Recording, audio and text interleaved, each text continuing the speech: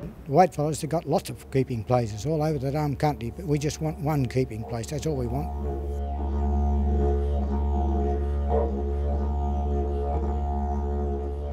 The keeping place is the current but temporary home of one of the largest collections of Aboriginal art, the Blackfellas Dreaming Collection, put together by Aboriginal people in Australia.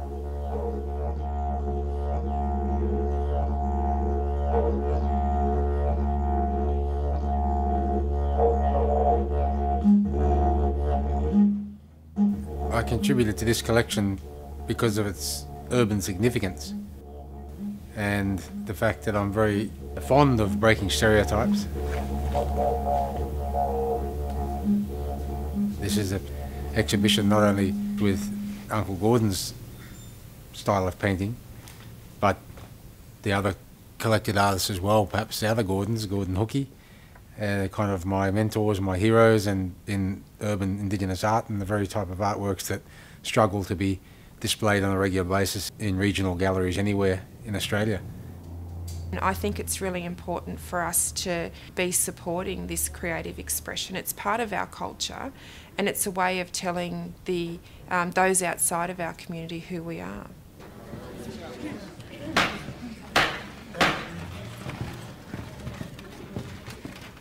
I don't know any other collection the same as this. This collection can never ever be replaced.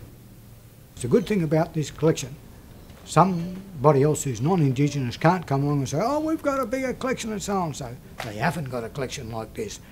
I know they haven't got a collection like this because they didn't, they weren't, the, the, the powers to be weren't, weren't interested in buying uh, urban Aboriginal art because they can't be in control of urban Aboriginal art. The origins of this vast collection go back to the 1970s, when a group of Aboriginal artists, including Gordon Syron, a pioneer of urban Aboriginal art, unleashed their art as a powerful new means of expression. Since then, Gordon, along with his partner photographer Elaine Syron, has spent more than 35 years acquiring and contributing artworks for this important collection. See how that's white around there? It includes over 500 works of Aboriginal artists, bringing together the art of the remote desert people, such as the late Clifford Possum and Emily Kngwarreye, to the contemporary paintings of urban Aboriginal artists like Gordon Hookey and Adam Hill.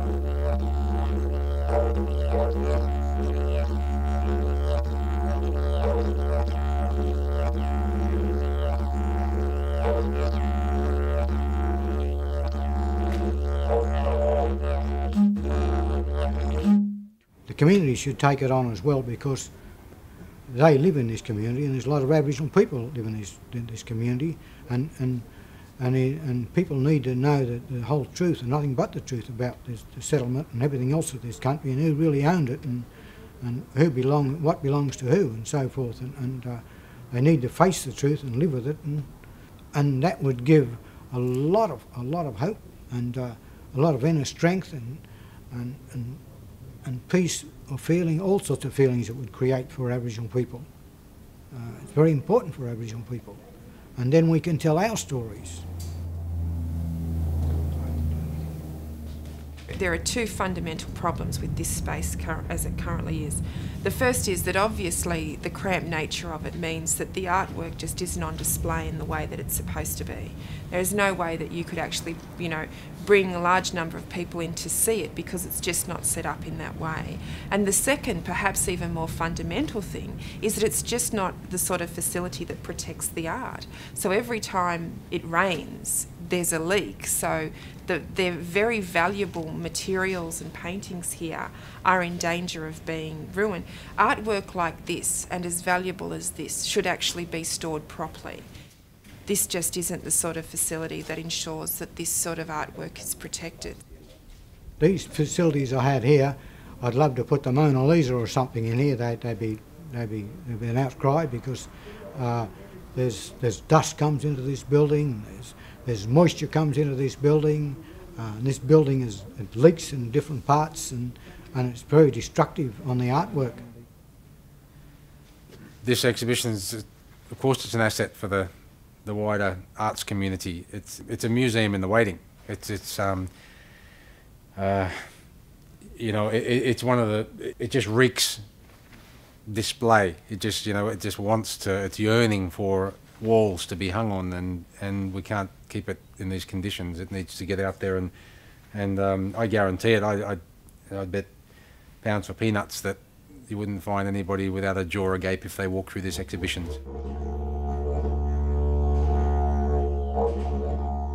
Gordon and Elaine have handed over its management to a committee of Aboriginal people whose role is to negotiate and ensure the safekeeping of the collection. The long term vision of the committee is to support the creation of a keeping place that serves as both a cultural space but a place of learning for Aboriginal people where we can learn and teach each other, but we can teach those outside the community about our history and culture. That that's sort of something that we would like to see. And of course, we see that if there was such a place, a collection like this could be at the heart of it.